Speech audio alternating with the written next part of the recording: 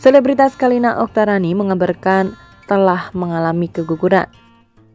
Istri Vicky Prasetyo ini mencoba mengikhlaskan bayi berusia 3 bulan yang ada di perutnya. Kabar keguguran Kalina disampaikan oleh Vicky Prasetyo usai mengunggah hasil USG calon bayi yang ternyata sudah tak lagi bernyawa.